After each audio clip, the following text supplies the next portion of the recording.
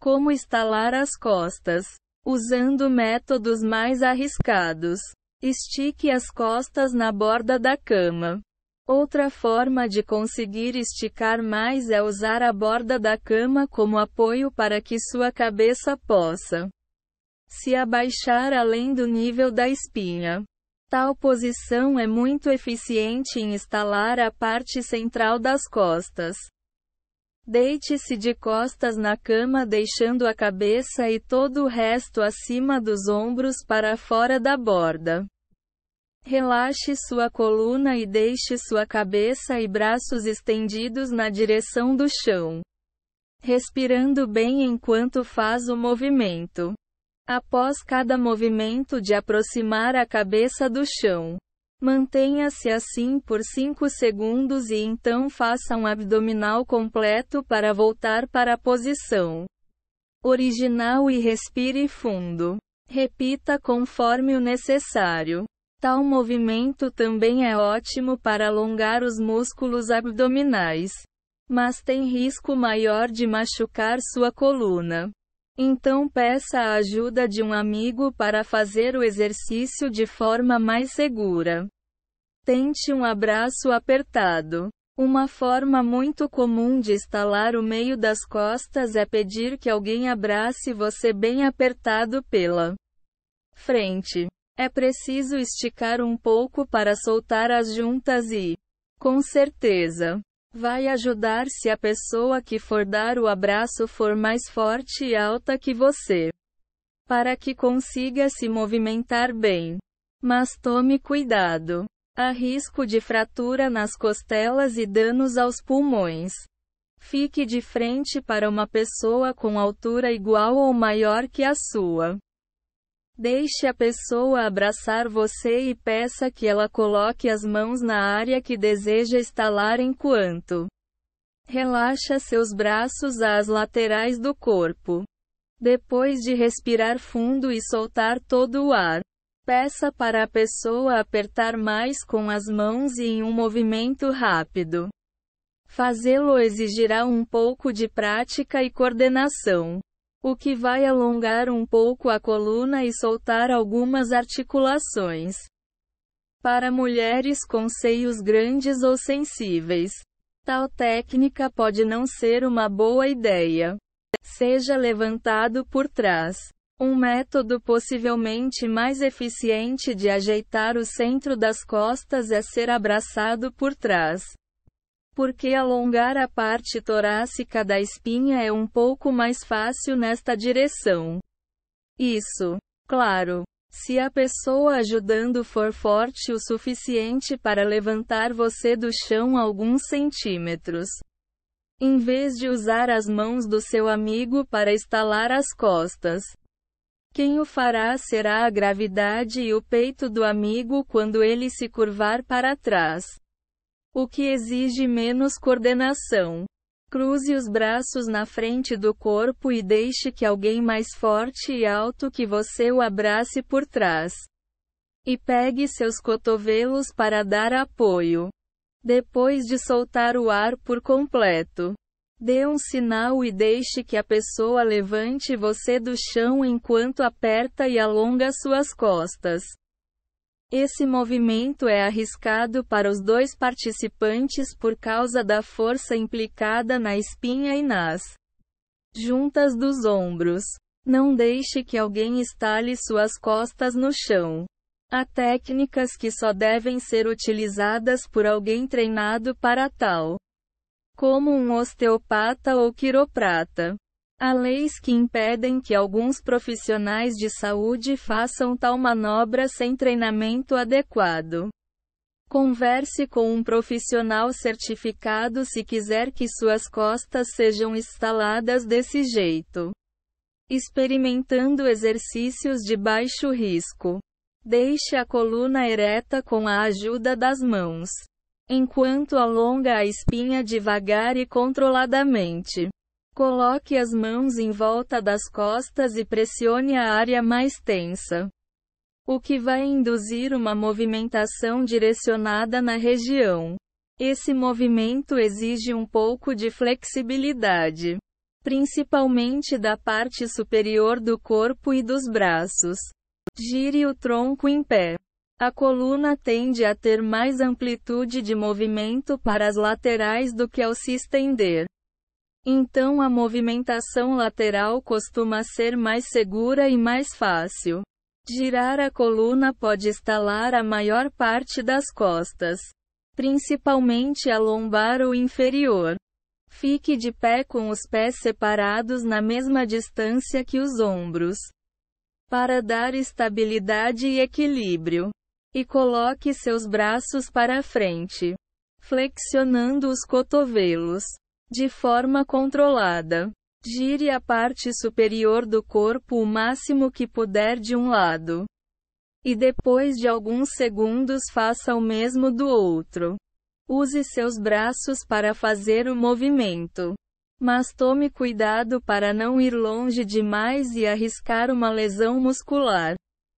Repita quantas vezes forem necessárias. Mas assim que estalar as costas, não conseguirá instalar o mesmo segmento espinhal nos próximos 30 a 60 minutos. Ou mais. Este é o tempo que leva para a junta voltar à sua posição. Use um macarrão de piscina. Ou objeto similar. Rolar-se sobre uma espuma firme é uma boa forma de massagear as costas e também aumenta a possibilidade de estalar ou causar outros barulhos vindos da espinha dorsal, principalmente no meio das costas. Tórax. Os cilindros de espuma costumam ser bastante utilizados na fisioterapia, yoga e pilates. Gire a coluna sentado no chão. Outra forma de girar a parte inferior da espinha é fazê-lo sentado o que pode ser firme e fácil de controlar. Use também os braços e mãos para induzir que o giro seja um pouco maior sem ter que virar o corpo. O que provavelmente é um pouco mais seguro. Sente-se no chão com uma perna flexionada e a outra esticada. Não importa de que lado começar, pois você vai trocar e fazer alguns giros nos dois lados com o pé da perna dobrada fixo no chão. Empurre-se e gire o tronco para o lado oposto, usando as mãos para dar estabilidade e induzir uma rotação maior. Tente olhar para trás, por cima do ombro, do lado que o joelho foi dobrado. Ponha tênis para que seus pés tenham mais resistência durante o movimento. Sente-se em uma cadeira para poder alavancar melhor. Girar a coluna sentado em uma cadeira é uma boa ideia, pois você pode segurar no encosto para conseguir lançar-se melhor para os lados e girar mais. As juntas da espinha precisam ir um pouco além do alcance normal para que possam estalar. Então, usar uma cadeira para conseguir fazê-lo é uma boa aposta. Sente-se virado para a frente em uma cadeira firme. Enquanto tenta manter as nádegas e pernas na mesma posição. Gire-se o máximo que puder para um lado, mantendo a posição por alguns segundos. E depois troque de lado. Respire normalmente durante o exercício. Segure nas laterais ou em cima do encosto da cadeira para conseguir se lançar melhor para os lados. Uma cadeira de madeira funcionará bem. Nessa posição, sua lombar tem maior chances de estalar ou se soltar. Faça um alongamento giratório deitado de costas. Outra forma de estalar o meio inferior das costas é deitar de costas e usar sua perna ou joelho como alavanca para conseguir girar. Forre o chão com algo macio para ficar confortável. Deite-se de costas e reto no chão forrado. Levante uma perna até o peito e dobre o joelho dela. Puxe o joelho para perto de você com a mão oposta o que vai criar uma rotação na parte inferior das costas e nos quadris. É possível sentir as juntas da parte inferior das costas ou dos quadris se soltarem e estalarem com o movimento. Esta é uma posição similar às que os quiropraxistas ou osteopatas o colocaram para ajustar a parte inferior das costas e o quadril. Articulações sacroiliacas. Estalando os músculos das costas com segurança. Primeiro, alongue os músculos das costas. A tensão muscular na coluna geralmente é aliviada com alongamentos simples, sem ter que estalar as articulações espinhais. O exagero pode danificar os tecidos do local e acelerar um tipo de artrite conhecido como osteoartrite, o tipo relacionado com uso e desgaste. Dito isso, tenha como objetivo um bom alongamento muscular primeiramente e não foque em conseguir barulhos de estalo. Ajeite as costas alongando a espinha dorsal.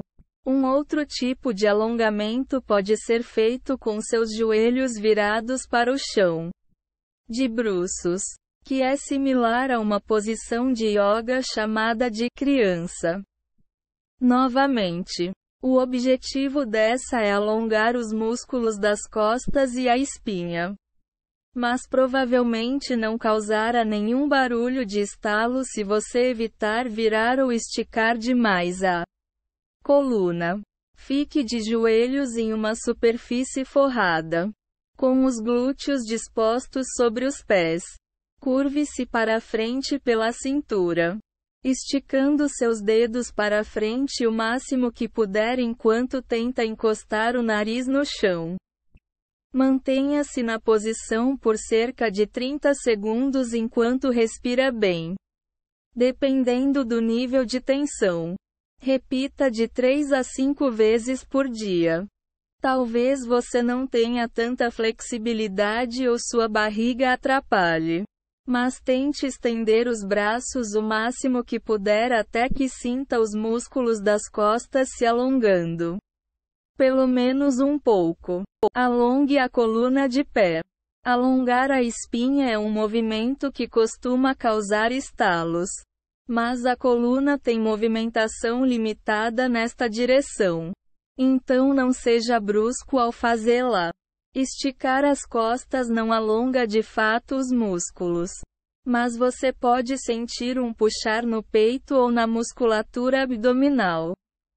Coloque as duas mãos atrás da cabeça e puxe-a para trás devagar enquanto se curva ou estica a coluna de forma que sua barriga se projete para a frente. Mantenha a posição por 10 a 20 segundos e repita o exercício de 3 a 5 vezes ao dia. Dependendo da tensão nas suas costas. A parte das costas que tem mais chance de estalar nesta posição é a do tórax. Ou seja, a que fica entre as omoplatas para manter o equilíbrio e evitar uma queda. Seus pés devem ficar retos e firmes no chão e afastados pela mesma distância dos ombros.